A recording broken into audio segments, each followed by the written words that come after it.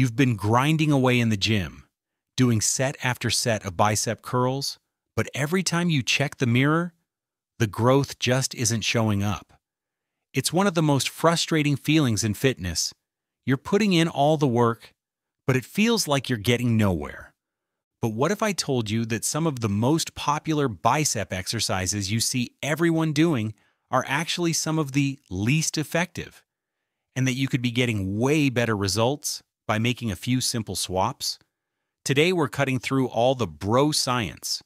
We're digging into lab reports, EMG analysis, and the latest research on biomechanics to build the ultimate, science backed tier list for bicep exercises. By the end of this, you'll know exactly which moves build monster arms and which ones are basically a waste of your precious gym time. All right, before we start ranking, we need to set some ground rules. How do we scientifically decide if a bicep exercise is any good? We're judging them on three key things. First, muscle activation. For this, we're looking at electromyography, or EMG studies. These hook up electrodes to the muscle to see how much it's firing during an exercise. More electrical activity generally means more muscle fibers are working, which is a fantastic starting point for growth. A well-known ACE-sponsored study, for instance, tested eight different curls and found a very clear winner for peak activation. Second, biomechanics for hypertrophy. This is where things get really interesting. We're looking at an exercise's tension profile. Does it challenge your bicep when the muscle is fully stretched out? The latest research makes it clear that this stretch-mediated hypertrophy is a huge driver of muscle growth.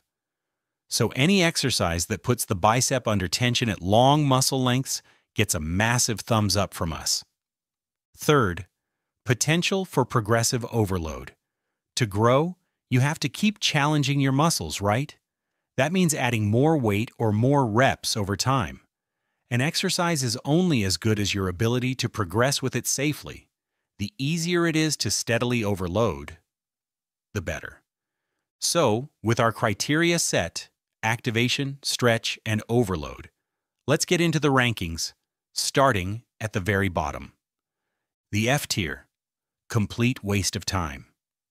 These are the exercises that, based on the science, just don't have much going for them. Honestly, you could drop these from your routine right now and you wouldn't miss a thing.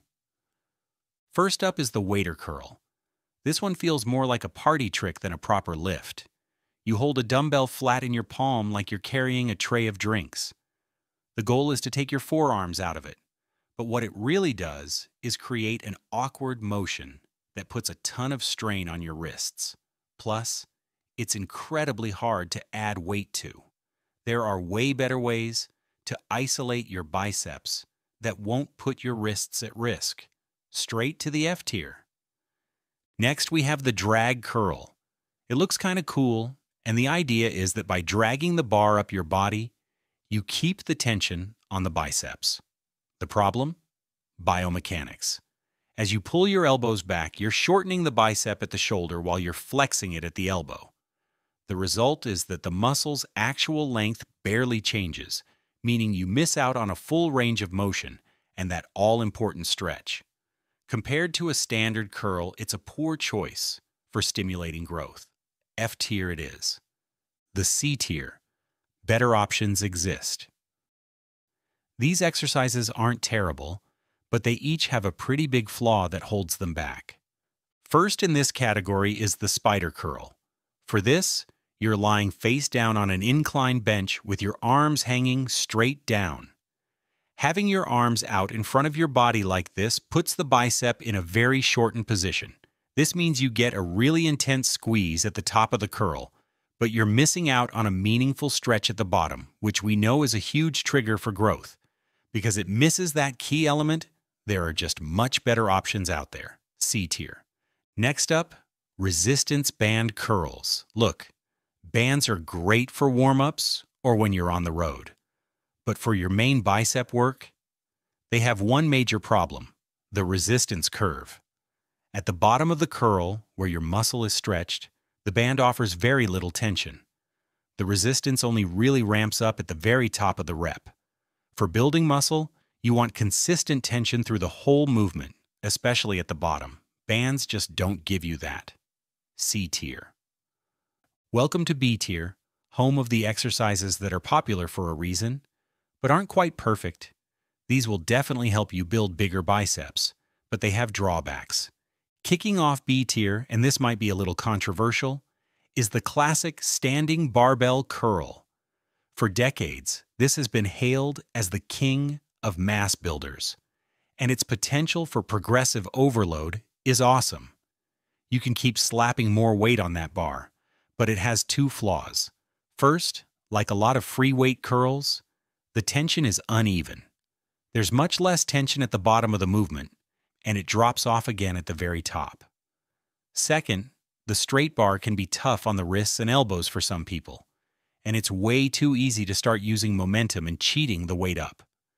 An EZ bar helps with comfort, but it has the same tension problem. It's a good exercise, but its flaws keep it in B tier. Next in B tier is the chin up. What? A chin up? Yep.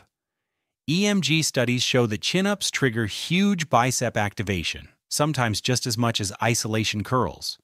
It's a compound lift, so you can overload it like crazy by adding weight. So why isn't it S tier?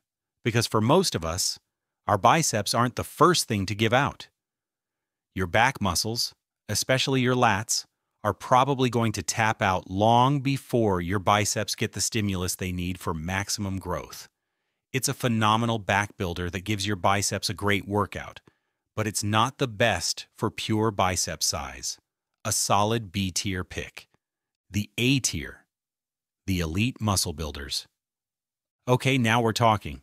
These A tier exercises are fantastic choices and should absolutely be a part of your arm day routine. First in A tier is the incline dumbbell curl. This move is a masterclass in biomechanics. By leaning back on an incline bench, your arms hang behind your body, putting the long head of the bicep into a deep stretch.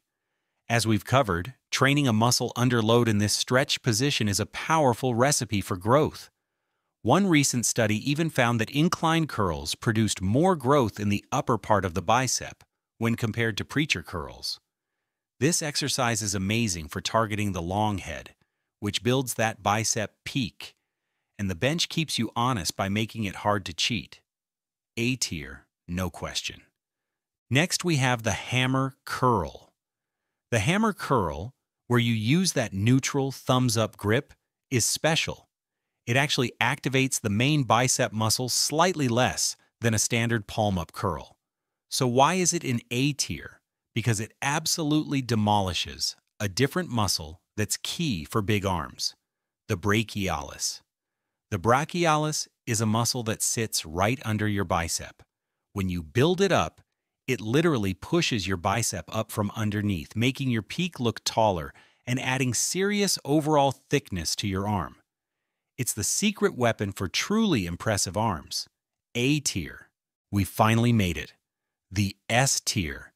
These are the exercises that the science tells us are objectively the best for building your biggest, strongest biceps.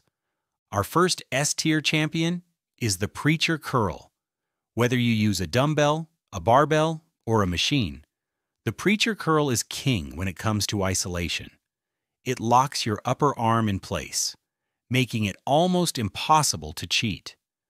More importantly, it creates incredible tension through the lower and middle part of the repetition.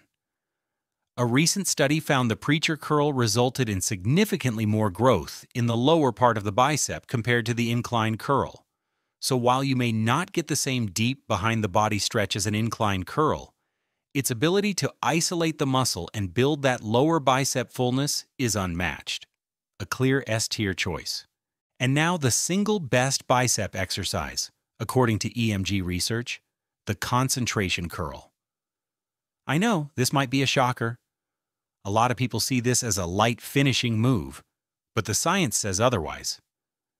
That landmark ACE sponsored study we mentioned earlier, it compared eight popular bicep exercises and found that the concentration curl produced significantly more muscle activation than any other exercise they tested. The secret is pure, unfiltered isolation. Bracing your arm against your leg removes your shoulder and any momentum from the equation. All the force goes directly into the bicep. For hitting the most muscle fibers possible, the concentration curl is the undisputed champ, S tier. So that's the list. The definitive science-backed ranking of bicep exercises. The main takeaway here is that your workouts should be built around those S tier and A tier movements. A killer bicep workout could start with a heavy preacher curl for that lower bicep fullness, followed by an incline dumbbell curl to hit the long head in a deep stretch, and finish with a concentration curl for maximum activation.